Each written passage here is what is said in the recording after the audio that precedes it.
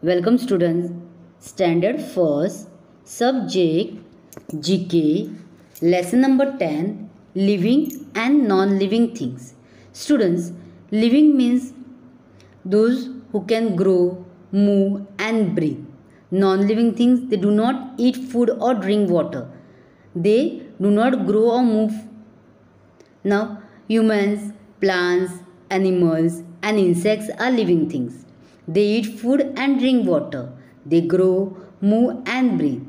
But non-living things, they do not eat food or drink water. They do not grow, move or breathe. Now we will see some example here. Students, now see in the first picture what you can see. Doll, rat, horse, car, frog.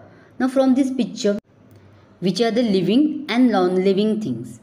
Student, rat, horse, frog. They are living thing. They grow, they move and breathe. But doll and car is non-living thing. Okay. Now see the next picture.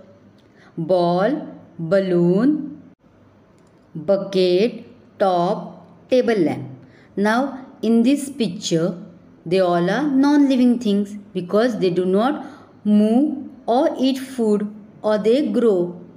Now see the next picture here. Telephone, butterfly, stone, bird, kite.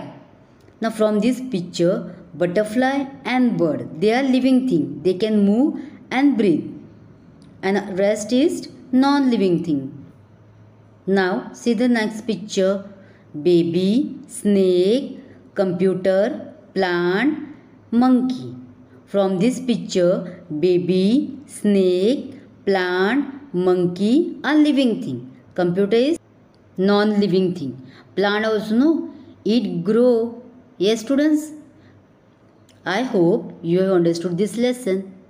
Thank you.